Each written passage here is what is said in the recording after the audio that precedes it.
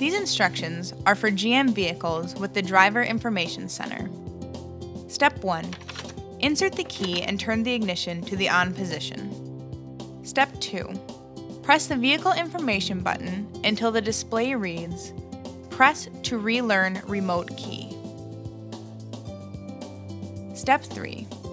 Press the Set Reset button until the display reads Remote Key Learning Active. The vehicle will now be in programming mode. Step 4. On your first remote to be programmed, press and hold the lock and unlock buttons at the same time and hold for approximately 15 seconds. An acoustic sound will be heard indicating that your remote has been successfully programmed. Step 5. Repeat step 4 for any remaining remotes to be programmed. Step 6. Turn the ignition to the off position to exit programming mode. Press any button on each remote to confirm programming. Your Duracell keyless entry remote is now programmed.